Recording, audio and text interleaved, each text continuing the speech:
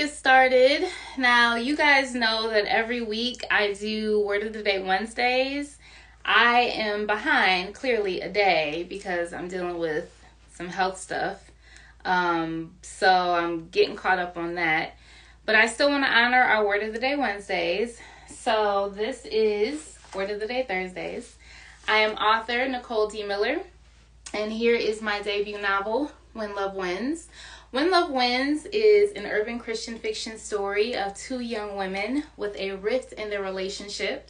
When Natalie, the faith based social justice advocate writer, loses her mom, she moves in with her cousin Ashley and her uncle for grief support. Instead of a warm welcome, she gets an icy cold one from Ashley, who is the urban socialite fashionista. And it turns out she's jealous because her ex is feeling Natalie. But there is more to the story. So, this book it talks about mental health in the black community. It talks about friendship, sisterhood, parent absenteeism, grief recovery, and the list goes on and on. Childhood trauma, bullying, um, but it definitely has African American, contemporary, urban uh, culture, language, music, media influences. So you can learn more at whenlovewins.love. All right, let's get started.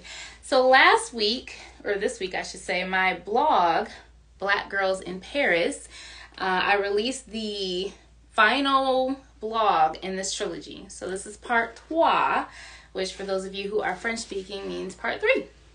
And so in the final blog post for this series, I was able to share just the amazing experience I had with the Ricky Stevenson Black Paris tour in Paris. It was just eye opening, it was refreshing, it was exactly what I needed, and my good friend um, who was with me needed because in all of the beautiful experiences we had in Paris, what was lacking for us was seeing us.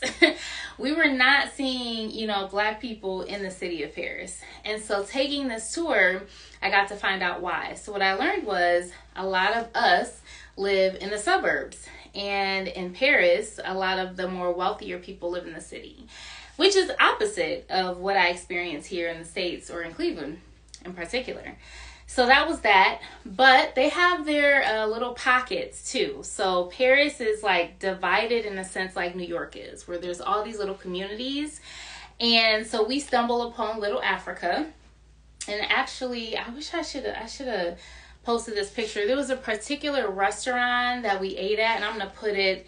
I'm gonna put it in the comments of this uh, live and post it because I really want to shout out this restaurant. But the food was amazing. They're African. Um, they were amazing, and they were located in Little Africa, which is where we actually ended the tour. But I didn't get to cover that in the blog because there's just too much to cover.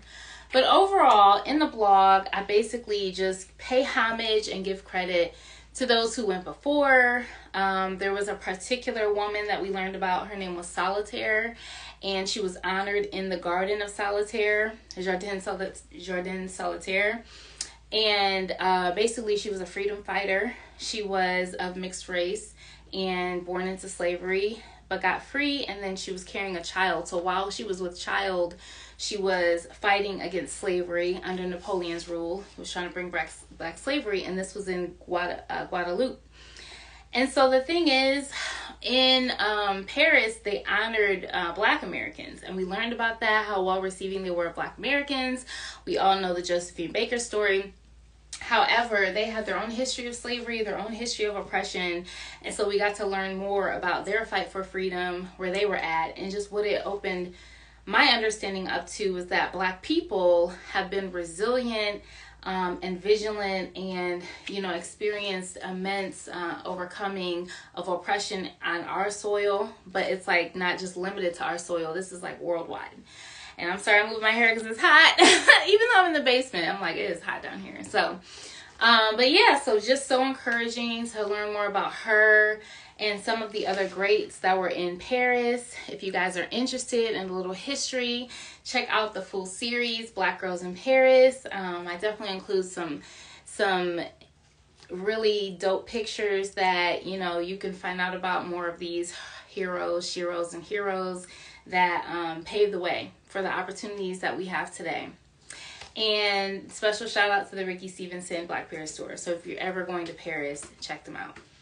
All right, you can learn more of the read more of the blog at NicoleDMiller.com. I do not have any upcoming events, you guys. I alluded to my health challenges um, earlier in this live, and I'm gonna be out of commission for a little bit. You will not see me out and about, um, popping around. I'm gonna keep it low key so I can really heal and learn from some past situations where I did not stay low key and I made my injuries worse. So I'm definitely to be low key, but I'm to be doing a lot of stuff like online. There's some opportunities that I'm looking into with the book and some things I want to do as far as my writing career. So stay tuned for more and make sure you sign up for my newsletter and my blog at NicoleDMiller.com. You guys have a good day and I will see you next week.